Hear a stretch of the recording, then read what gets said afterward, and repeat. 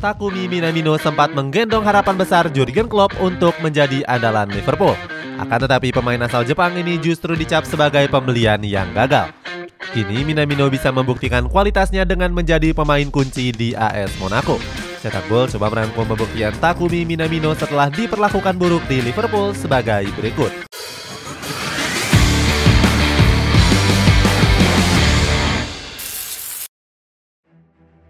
Dicap pembelian gagal. Sejak bergabung ke Liverpool, karir Takumi Minamino selalu nggak berjalan mulus. Pemain asal Jepang ini diprediksi akan menjadi pembelian gagal skuad Reds. Namun Jurgen Klopp cukup yakin dengan potensi yang dimiliki oleh Minamino saat itu. Menurut pelatih asal Jerman ini, Minamino bakal menjadi aset penting untuk skuad Reds. Nyatanya omongan Jurgen Klopp itu nggak bisa dibuktikan dengan baik oleh Minamino. Selain dicap pembelian yang gagal, pemain kelahiran Osaka ini dianggap nggak layak untuk berseragam Liverpool. Ini dibuktikan dengan buruknya statistik Minamino selama berseragam The Reds. Pemain berusia 27 tahun ini hanya mencatatkan 14 gol dari 55 penampilan. Ex pemain dari RB Salzburg ini bahkan sempat dipinjamkan ke Southampton. Selama membela skuad Saint, dirinya juga gagal tampil impresif. Minamino akhirnya kembali pulang ke Liverpool di musim 2022-2023. Namun persaingan ketat di lini depan The Reds semakin membuat namanya tenggelam. Alhasil manajemen The Reds segera menjualnya ke AS Monaco di musim panas 2022. Klub Ligue 1 Prancis tersebut memboyongnya dengan biaya transfer senilai 18 juta euro. Teruskan performa Lord.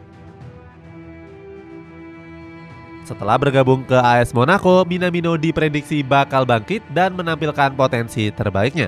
Namun dirinya justru malah semakin terpuruk saat menjalani musim perdananya. Banyak pihak yang menilai kalau Minamino didatangkan hanya untuk mendongkrak popularitas AS Monaco. Manajemen dituding menjadikan Minamino sebagai perluasan marketing di Asia saja. Prediksi ini terbukti dari jarangnya Minamino diturunkan sebagai starter di musim pertamanya.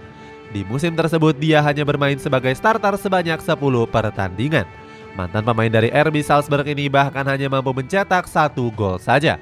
Direktur olahraga AS Monaco yakni Paul Michel meminta Minamino untuk bisa beradaptasi lebih cepat. Michel merasa jika sang pemain masih kesulitan beradaptasi dengan gaya bermain Ligue 1 Prancis. Padahal dirinya berharap Minamino mampu mengembalikan performa terbaiknya di AS Monaco. Meski begitu, Michel tetap masih menaruh harapan besar pada sang pemain untuk kembali tampil impresif. Tiba-tiba gacor di AS Monaco. Setelah menjadi bahan olok-olokan di musim lalu, Takumi Minamino berhasil menunjukkan tajinya di musim ini. Dirinya langsung menjadi pemain kunci di AS Monaco. Performa impresifnya itu sudah dia tunjukkan saat laga pramusim menghadapi Bayern Munchen. Di laga itu Minamino berhasil mencetak satu gol di menit ke-29. Minamino juga mencatatkan satu assist di laga pembuka Ligue 1 menghadapi Clermont. Penampilan impresif dari Minamino kembali terlihat saat AS Monaco menjamu Strasbourg di pekan kedua Ligue 1 Prancis. Mantan pemain Southampton ini berhasil mencetak dua gol pada menit ke-20 dan 36. Adolf Hutter selaku pelatih AS Monaco memuji ketajaman dari Minamino. Pelatih asal Austria ini bangga melihat Minamino bisa kembali menemukan kepercayaan dirinya lagi.